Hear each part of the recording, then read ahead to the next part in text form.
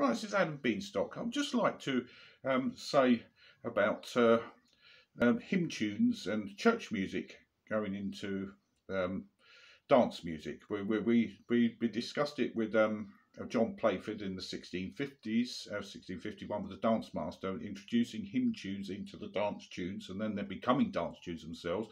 But this happened a bit later on in the 18th century with the Irish music and we've got St Catherine's Reel, which uh, probably a lot of people know, I'm going to put it with another reel new anything, but I'm going to play the original uh, theme, what, what it could have sounded like, and some people say, I've checked up on Google, that um, this tune could have could have been written by Jean-Philippe Rameau, um, as one as, a, as an influence of tune into dance, um, but it was adopted by the the Irish. Um, I mean, I don't want to get into trouble here, but this this tune is an Irish tune, and uh, but it's got a hymn-like quality. I'll just play what I think it would have would have sounded originally on the organ, then we'll go on to the, the dance music.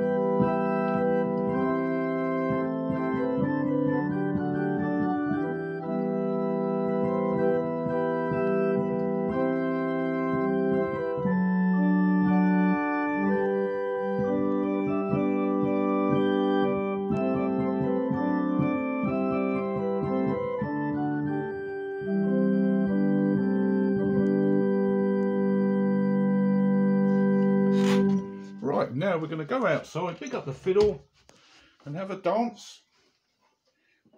Have a dance and a pint and two reels. Here we go.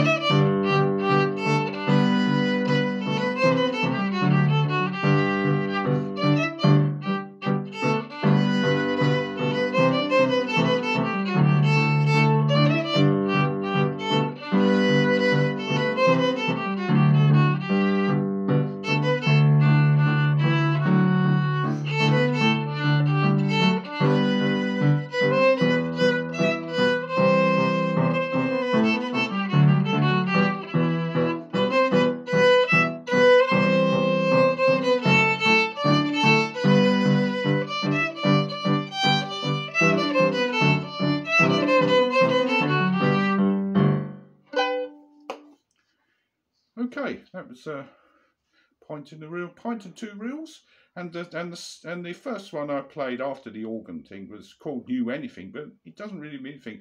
I think uh, probably a more appropriate name for that would be with Pealing of Bells, wouldn't it? Really, because uh, because of descending passage. Anyway, so I'll give you with some insight and thought on that, and uh, uh, get back with your comments. That'd be really good.